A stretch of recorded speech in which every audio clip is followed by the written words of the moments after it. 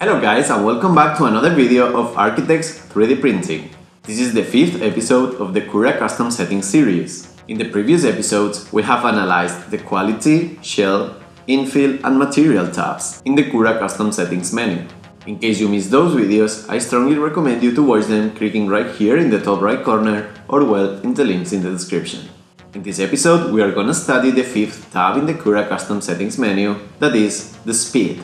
But before starting, make sure that you are subscribed to our YouTube channel clicking here in this little Architect 3DP icon that you can find in the bottom right corner. If you do it, you will help us growing and continue creating new content for special viewers like you. Okay, so to start, as always, I am going to import in Cura our test cube and change the view mode from solid to layer view. In this new update, Cura 3.3.1, they changed the auto slice option by default to disabled, and I wanted to give it a try, since we'll be changing values along the video and we don't really want our PC to be recalculating the model every 2 seconds. Now, when we change the value, nothing will change in the model until we click on prepare in the bottom right corner. Alright, so if we open the speed tab, we'll see that by default we only have two options activated, that are print speed and travel speed. The first value will obviously control the movement speed of the nozzle when the printer is extruding material and the second one when it's not. As always, we are going to click in the setup wheel and we are going to analyze the possible options that we can show in our speed tab in the Cura Custom Settings menu. Some of them will be very useful and others incompatible, but let's have a look of what we have. The very first option will be an option that we had already activated, the print speed. But even if you set the print speed for example to 30mm per second, if you look at the printer while printing, you may notice that the speed changes, for example when it's printing the infill or well the external layer. That's because this value is overwritten by other sub-values, which will reduce the print speed in a 50%. And that's why we can notice this speed difference during the prints. A reduction of 50% used to work in most of the cases, but we are going to activate some of the sub-options to optimize the printing times without losing much quality. So for now we are going to activate infill speeds, outer and inner wall speeds, top and bottom speeds, and support speeds. Notice that the support speed will not appear in the menu until we activate the generate support option down in the supports tab.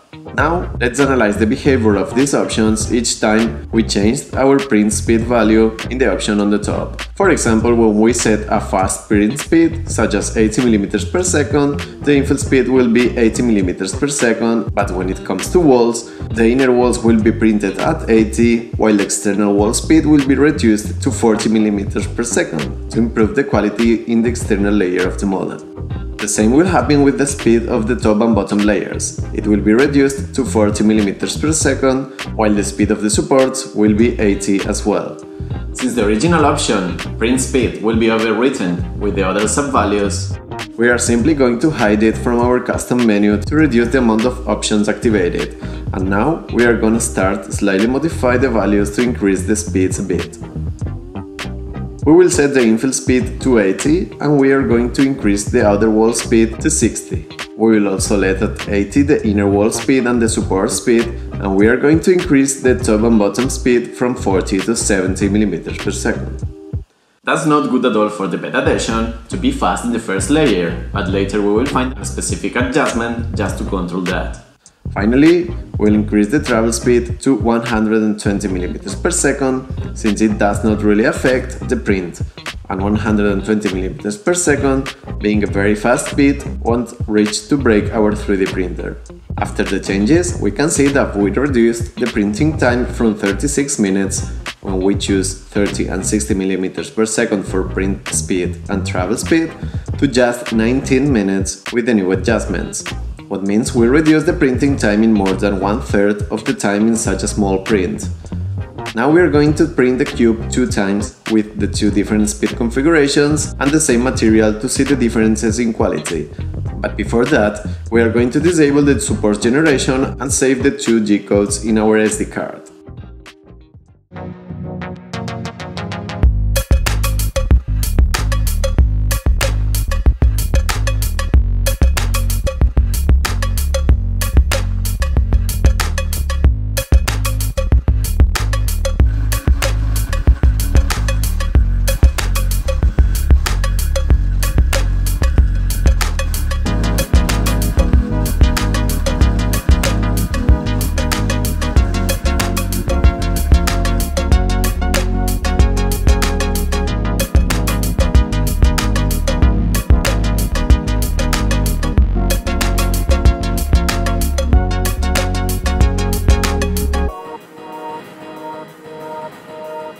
So as we can see in this quick comparison, we can't notice a really big difference compared with the difference of almost half of the time that the printer took to print the same cube. Now we're going to keep exploring the options that we can show in our Speed tab in the Cura Custom Settings menu. So again, we'll click in the Setup wheel and the next option we'll have to show will be the Travel Speed, that was already activated by default. And right next to this one, we will find another option that we are going to activate, the Initial Layer Speed. Actually, we're going to activate the two sub-options underneath. It's very important to have a good first layer completely adhered to the build plate, because since it could make the whole process a bit longer, it will drastically reduce the possibility of having fails in our prints. We are going to set an initial layer print speed of 30 mm per second and an initial travel speed to 60 mm per second. This way, our first layer will stick perfectly to the mirror most of the times. Back in the settings visibility menu, we are going to activate skirt brim speed, and we are going to let it at 40 mm per second as it was by default, since it is a good speed. Next we'll find maximum Z speed. If we show it, we'll see that it's set to 0, what means that it will be controlled by the firmware of the printer. It's working perfectly like that, so we're going to hide the value without changing anything and we are going to continue with number of slower layers. Activating it, we'll see that it's set to 2 and it controls how many layers will have the speed defined by the value top-bottom speed that we set before at 70. It's okay if it's set to 2, since we chose pretty much the same speed, only reducing it to 70 mm per second, so we are going to hide this option from the menu and continue with the rest of the settings. We're gonna skip equalized filament flow, since it's useful for printing thin walls different to the nozzle, something that we will always avoid when possible. Next, we'll activate the next options. Enable acceleration control, print acceleration, top and bottom acceleration, travel acceleration, initial layer acceleration, and finally skirt brim acceleration. Adding a small amount of acceleration to the different phases of the printing will make the movements more smooth and will slightly reduce the printing times. By default, they are set to 3000 and 5000 mm per square second, and we are going to reduce print and skirt accelerations from 3000 to 1500. Travel acceleration from 5000 to 2000 mm per square second and we will reduce the top and bottom as well as the initial layer acceleration to 1000 mm per square second. After these small changes, we reduce the printing times from 19 minutes to 17 minutes. And right now, I'm printing out the cube to compare it with the cube we just printed, but now using some acceleration. If we have a closer look at the print, we can actually appreciate the accelerations each time the nozzle changed directions. And after the print, as we can see in this quick comparison, the quality remains more or less the same than before, and we have saved 2 minutes on the print. Okay, so next in the settings visibility menu, we'll find the Enable Jerk Control with all its sub-options. I'm going to analyze it real quick and I'm going to activate the Enable Jerk Control, Print Jerk and Travel Jerk. By default, it's set to 20 and 30 mm per second, and I'm going to reduce it to 10 and 20 mm per second so the print quality won't be affected that much. It will control the maximum instantaneous velocity changes of the print head, and reducing it to these low values, we will slightly reduce the time of the print in big prints, while keeping almost the same printing quality. Finally, I'm going to print the cube one more time with the whole set of new adjustments that we configured today, that as you can see is massive, maybe one of the biggest tabs, but quite easy to understand. If we compare the four cubes we printed today, we can see slightly better quality in the first model that was printed at low speed, and the other three kept more or less the same good quality. If we need to print something with really high quality, we will possibly print it at a lower speed, but in most of the cases, when we print stuff for ourselves, using the settings that I have in my screen might be more than enough. And such a good option to go with, since we reduce the printing time from 36 minutes to 17, less than half of the time, keeping more or less the same quality.